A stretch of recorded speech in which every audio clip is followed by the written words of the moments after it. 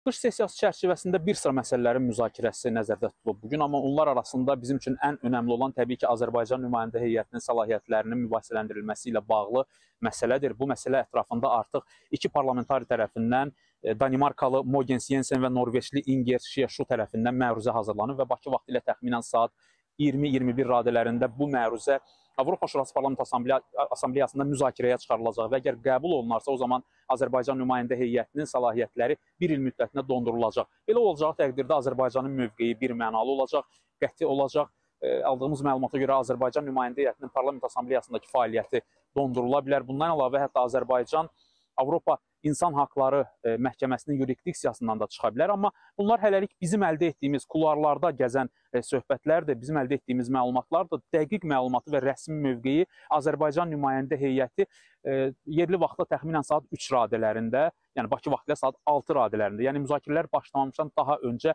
ortaya qoyacaq və Azərbaycan nümayəndə heyəti bəyanatla bu istiqamətdə bəyanatla çıxış edəcək və artıq biz biləcəyik ki, rəsmi olaraq Azərbaycan bu qərəzli e, qərara qarşı hansı addımları atacaq.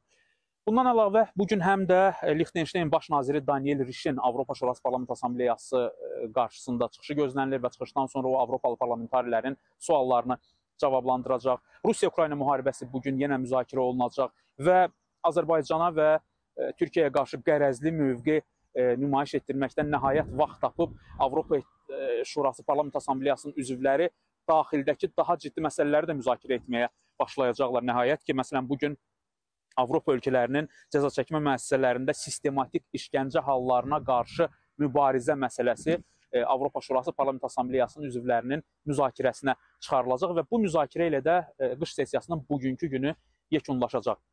Könül, ən son məlumatları yenə də qarşıdakı buraxılışlarda da çatdırmağa çalışacağıq. Söz sizdə.